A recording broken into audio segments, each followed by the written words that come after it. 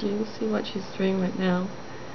She's um, taking her proboscis and she's moving it up and down against her body. And I, um, I think this is a form of preening. Um, I think she's cleaning her proboscis. In nature, um, the the nectar is a sugary a sugary solution, and that would um, that would gum up the proboscis. And I've noticed that she takes those I don't know what they're called. I'll have to look it up.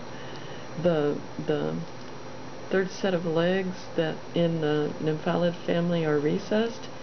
She takes those and and she pulls on her proboscis with that and she also is um, raking it on her uh, chest and um, often on her legs that have uh, spurs. Um, to me, this is a way of um, cleaning and clearing, cleaning and clearing the proboscis, and um, also pollen. Pollen is um, could probably gum up the proboscis and this is probably another reason that um, right now she's she's nectaring. She cleaned her proboscis and now she's nectaring.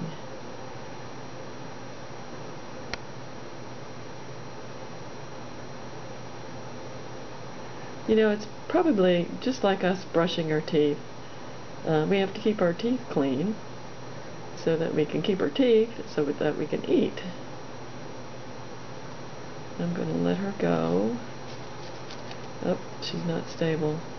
She's almost totally lost her left wing. Uh, but this is what happens to butterflies who are born during the breeding season. They start breaking down. Uh, they live anywhere from six to eight weeks. Um, monarchs that are in diapause, that are traveling to Mexico, can live seven to eight months.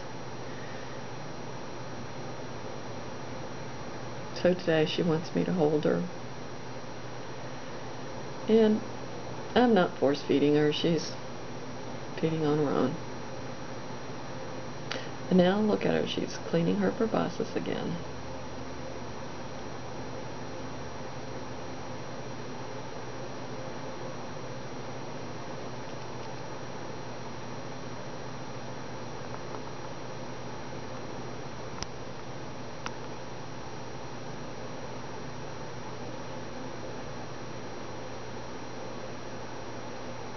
Sorry it's so dark in here.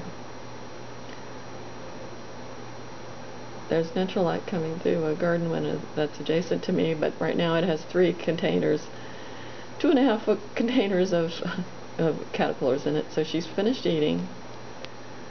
So I'm going to take her and wash her off just a little bit.